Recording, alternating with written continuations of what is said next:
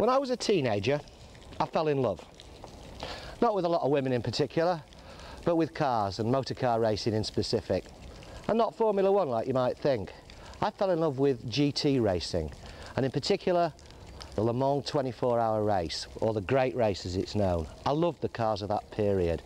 The 60s for me, incredible. The C-types that won Le Mans evolved later into the, the E-type Jags of the time. Ferraris did the same. They were really tricky cars, but they really were the supercars of the day. Real Le Mans cars are of course out of reach of most except for the disgustingly rich, and even then they're so highly strung as to be undrivable on today's roads.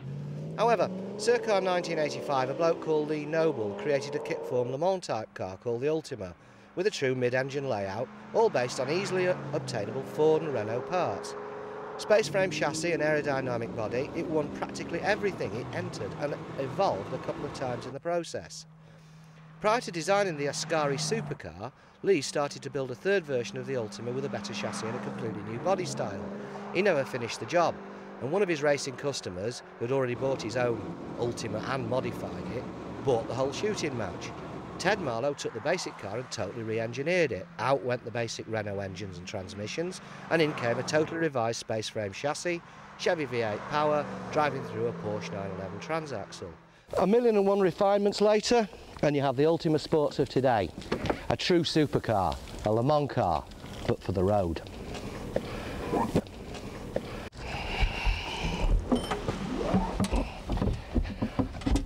Getting into an Ultima is no easy matter, but once you're in, it all holds you perfectly.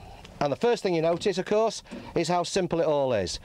Rev counter, speedo, bang in front of you, prominent position. Ancillary gauges, warning lights, etc. Switch gear, just below it, but still perfectly visible. Obviously you're in a race car here, up to a point. Right hand gear change. You might not think, oh, you know, I'll be in des desperate trouble with one of those. But you won't be, few miles with this. And it's easy, easy. Racing seats hold you like a glove. Racing seat belts, six point Willans harness, no problems at all. Well, I suppose when you've got yourself something that looks like a Le Mans car, the one thing you want it to do is drive like one. So here we are.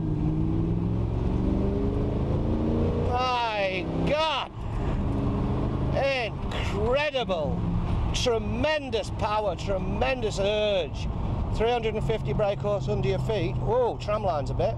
But it feels all of a piece, you know? It's like, just, you're kind of all at one with it.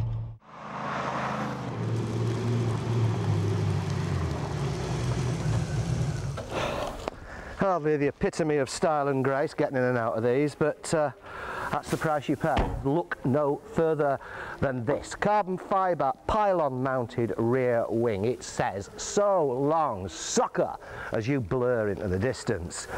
In there, the business. 5.7 litres, Chevy V8. 350 brake horsepower, Porsche 911 5-speed transaxle. Fantastic.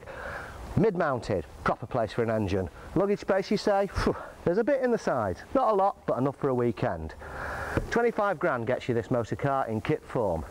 40 grand from the factory built, any colour you like. Do I like it? No, I love it.